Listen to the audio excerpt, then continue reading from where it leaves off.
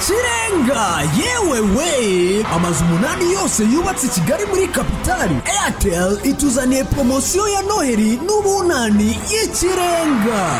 Buri cyumweru hari inzu yo gutsindira. Naho buri munsi hari amakashi menshi we. Biroroshye. Ongera amafaranga muri telefone yawe utsinde. Uko wongera amafaranga niko wongera amahirwe yo gutsinda. Cyangwa ukande akanyenyeri. Rimwe umunani kabiri akadirisha ukoreshe airtel money. Gura simukadi ya airtel uyu munsi utunge inzu yawe. Amategeko n'amabwiriza birakurikizwa. Airtel kuko u rwanda rukwiye ibyiza. Ikirenga noheli nziza. Ikirenga umwaka mwiza. Ikirenga muri eyateri ibyo ni ikirenga mu mpera z'umwaka eyateri ishimisha abaye cyane. Mu bihembo byinshi bingana na miliyoni magana abiri zose. Buri cyumweru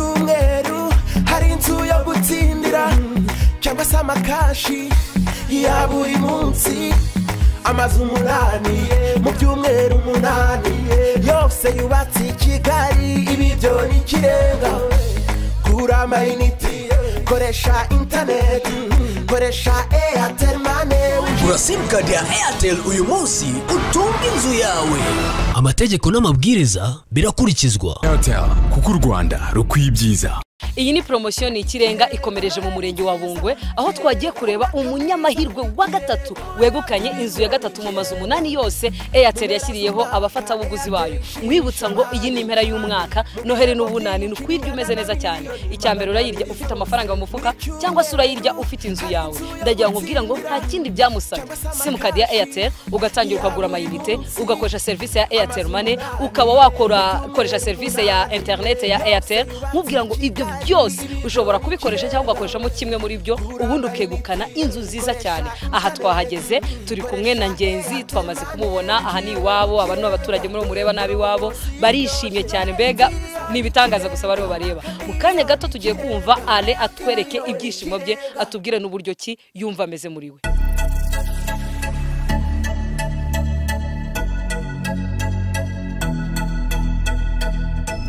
I want to see a happy face. I want to see a smiley. eh. ngenzi ale uraho? Uraho neza. Amakuru y'iminsi amakuru ni meza cyane. Urumva umeze ute? Ndumva nishimye cyane rwose. Poromosiyo ni ikirenga yanshyize igorora urumva ubundi mu bisanzwe niba atari ibanga inzu wari usanzwe urimo wayishyuraga amafaranga angahe? Ko nzi ko wamaze kutubwira ko ariyo wishyuraga kubera ko i kigali uhatuye kubera akazi. Nishyuraga ibihumbi cumi na bitanu ku kwezi. None ubu ngubu eyateri iguhaye inzu nziza cyane yawe ugiye guturamo utishyura. Urumva bimeze bite? Ni ikirenga ni ikirenga ni ikirenga kabisa sinabona uko mbivuga. Hanyuma niba atari ibanga mu buzima busanzwe wenda hano twagusuye ni iwanyu. Ese hari inzu yindi waba ufite iwanyu cyangwa se wari ukiba mu nzu y'ababyeyi? Nari nkiba mu nzu y'ababyeyi ubwo mu kuba mu nzu y'ababyeyi nayibagamo ntashye ariko ubusanzwe ubuzima bwanjye buba i kigali. Ah, ngenzi ubu kano kanya wegukanye inzu nziza cyane. Ni iki kintu wabwira abafatabuguzi? Ubabwire sekere wakoresheje kugira ngo iyi nzu ubu yegukanye.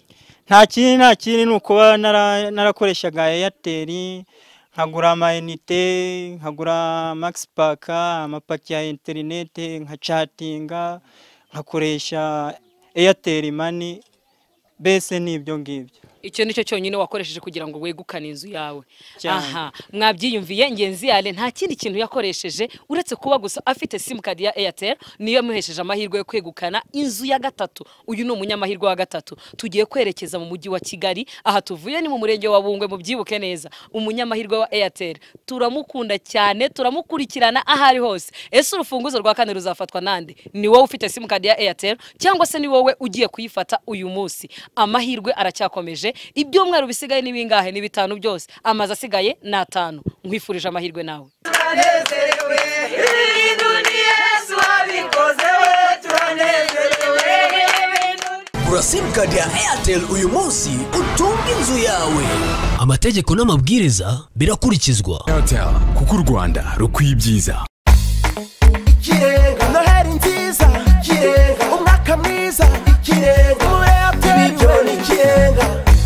Mu mpera z'umwaka eyateri ishimisha abaye cyane. Mu bihembo byinshi bingana na miliyoni magana abiri zose. Buri cyumweru hari inzu yo gutsindira cyangwa se amakashi ya buri munsi. Amazu umunani mu byumweru umunani. Yose yubatse iki? Mission ni ikirenga ikomereje ku nzu? Ubu tuvuye bungwe kuzana umunyamahirwe wa gatatu wegukanye inzu ya gatatu ubu tumaze kugera ku nzu. Inzu murabibona neza irafunze nta n'umwe urayifungura ni iya nyirayo. Dutegereje ko ngenzi agera hano ku nzu ye akayifungura yarangiza akatwereka amahirwe ye. Nkubwira ngo nawe ufite amahirwe kuko uba ukurikiraho ashobora kuba ari uzayitwara. Urasabwa kuba ufite gusa simukadi ya airtel. Ugakoresha airtel money ugakoresha serivisi ya interineti ya airtel ukaba wagura amayinite ukaba wagura max pack ubundi ukaba wakwegukana ama- ama- amahirwe yo kuba watwara inzu ya kane. Nkubwira ngo hasigaye inzu eshanu zose iyi ni iya gatatu igiye mu nzu umunani. Amahirwe aracyahari reka turebe ngenzi ukuntu ari buze kumererwa nagera ku nzu ye.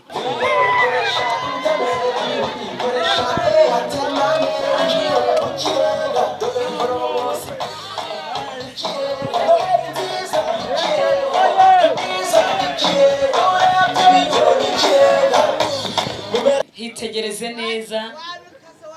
Eh, wahabonye ukuntu hameze. Murafatanya n'umuyobozi wa airtel. Aha. Noheri nziza. Umwaka mwiza.